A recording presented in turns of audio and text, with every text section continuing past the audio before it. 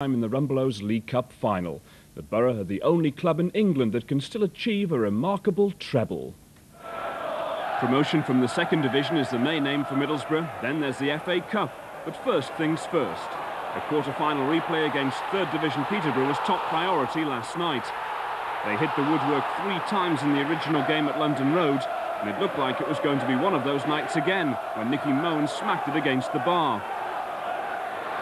The follow-up by John Hendrie was well saved by former Darlington keeper Fred Barber. But Boro's man of the match, Stuart Ripley, came to the rescue. He tormented the defence all night, and little did they know what was to follow.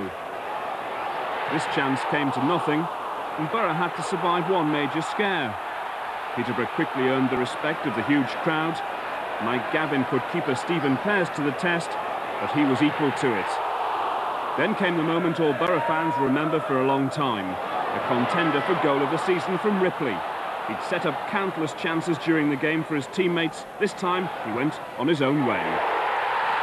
The strike 10 minutes from the end was like a dream come true for his manager.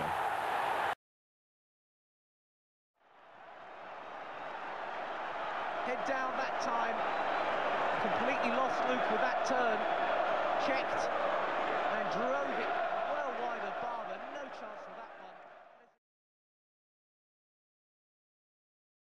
You don't get many, Stuart, but you know, when he gets them, they're great goals. And it needed that because Peterborough had battled so hard and played so well that it looked like um, it was going to be extra time, you know.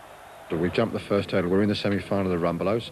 Now, we've got to get a result on Saturday at Portsmouth to keep in the FA Cup, and we've got to beat Blackburn to keep our hopes alive and keep up the top of the league. The confidence as well must be sky high. Very confident, yeah.